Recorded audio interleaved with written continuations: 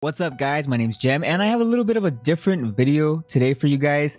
You probably already saw the title of the video, but I got this package from Aspyr Media who uh, published or made, I forget which one, uh, Layers of Fear, which is one of my favorite horror games that I played and one of my favorite games that I played on the channel. So this uh, box should have some promotional items from the game, some very rare items, and I'll explain in just a second how I got those. But I'm very excited to start opening up this box. Let's go ahead and get the trusty old X-Acto knife and start besting this bad boy open. I just broke the X-Acto knife by accidentally pushing the thing the wrong way.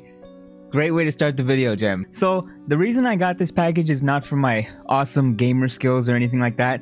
They were simply doing a promotion on Rely on Horror, which is an awesome site that uh, talks about all kinds of horror media, including video games. And they basically had a thing with uh, with Aspyr Media where they basically said leave a comment below on the article and you could have a chance to win something from Aspyr Media, a promotional item. Now, I left a comment, obviously, but basically they were replying to everyone who left a comment and with an email to Aspyr Media saying, uh, please email us and give us your information, basically, and we'll send you something. So, I don't know what I got uh, at this point. Obviously, that's why I'm doing an unboxing, right? But there's a chance that I got a very rare holographic card that I'm really hoping for. And when uh, it's one of those cards that when you shift it, the image changes. And what it would be if I did get that particular item is that when you look at it one way, you see the uh, the nice version of the painting. Actually, it's of the artist itself. It's not the painting of his wife uh, from the uh, spoiler from the end of the game. Holy shit! There's a bunch of stuff in here. This stuff is all just on top of the box itself. Uh, let's see. We got. Holy shit, dude. They actually sent quite a bit of stuff in here. Let's start looking through this stuff little by little and uh, see exactly what we got here. I'm gonna I'm gonna move a little bit closer to the to the camera here, so so I can hold this stuff up too. So let's see exactly what this is. I have this really nice uh, layers of fear, like kind of um, like a wax stamp that looks really cool. I think that's coming out on the camera. You see the LOF. That is awesome.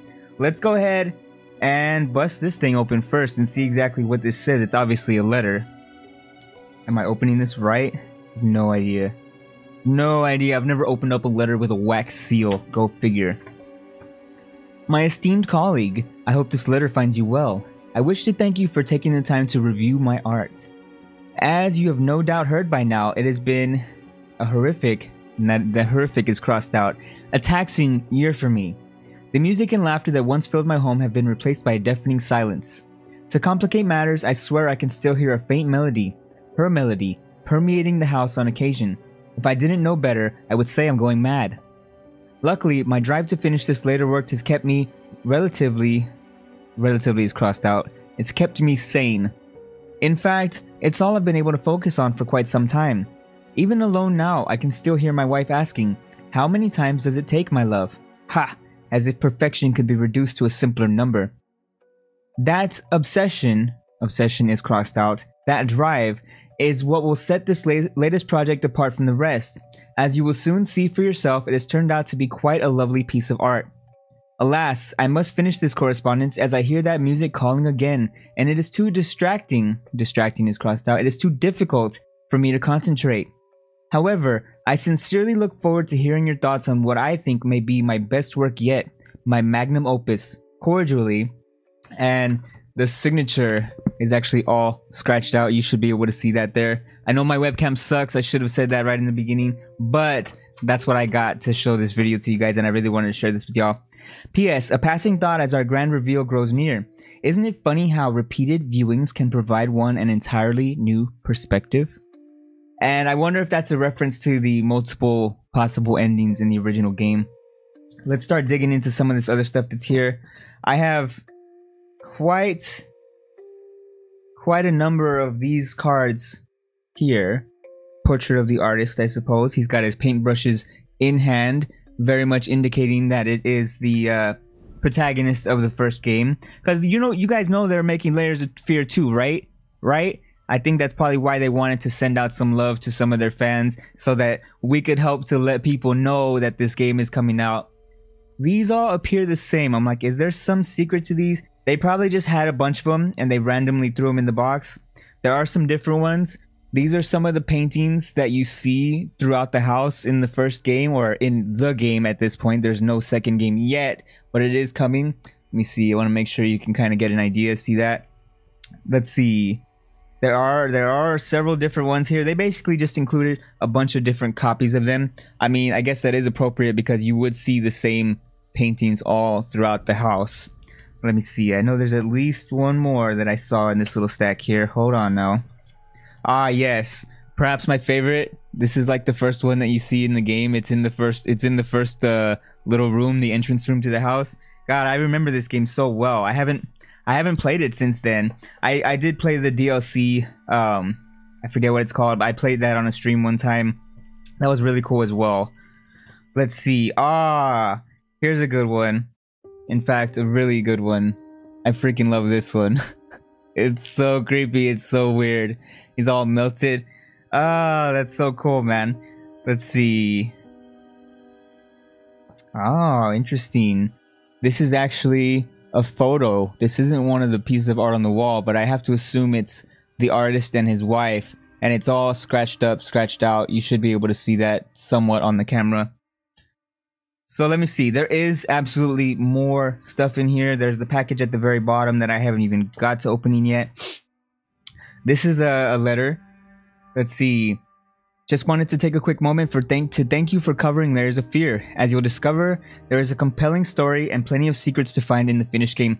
So I think what this is is this is a a press kit from when the game first came out. So a lot of this stuff doesn't really make sense. Um, but that's why it says to thank you for covering the game. It's not to me personally for playing it and posting it on YouTube for roughly 100 views. Um, these are for the people that actually covered the game. It says the videos are under embargo until February 14th. So yeah, this is from back then. I guess they just had extra press kits laying around.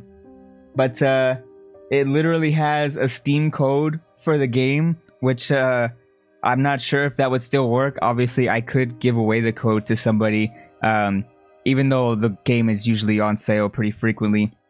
But this is perhaps the most interesting part of the package. So let's start opening this up. There's a very similar looking letter that it also has a wax seal on it. First and foremost, that's on top. We're getting to the biggest part last, so don't click off this damn video yet. Because the last one kind of feels like it might be a book. Yeah, this is the same letter as the first one that I read off. This is different though. Children's bedtime stories. Very interesting looking. I'm trying to remember or think back if this was an item that was uh in the game. Oh, this goes along with the DLC. Look at this. You could see the the wolf and the uh, little red riding hood imagery that we saw in the DLC game. Uh and yeah, it actually has multiple stories in here. The Tale of Bobby, Sue, and Gail. Let me show you guys some of these as well. Just to get an idea of the art in here. And you can see that there are actually stories. I can I can I'm reading it off the camera right now. Come little darlings and hear the tale of three what does it say? Of three curious children, Bobby, Sue, and Gail. Down into the basement or on a dark stormy day, our three little rascals chanced for to stray. Very interesting. Uh oh. It looks like things go things go very wrong by the end of the story there. Let's see, I know that light is a little bright. Ooh. Interesting. I'm definitely gonna have to take a take some time to look at this later on. I suppose maybe I could do a reading of this uh, for a video if you guys want. Look at this. This is very much an image from the DLC. Actually, this might have been in the main game as well. I know the DLC definitely tied back to the imagery in the main game. That is so cool, man. Let's see. And then we have the big the big bad boy. Oh, you know what it is? I know what it is. I know what it is. It's not a book. Alright. Oh, yeah. Hell yeah. I'm gonna try to accurately show this. It's kind of hard with the light, but let's see. Y'all see that shit? Bro. That is so lit. I thought it was gonna be a little card like this big. It's it's literally framed and it even has like a little kickstand for the frame where you can set it up anywhere. I am so impressed with this. It looks so fucking good.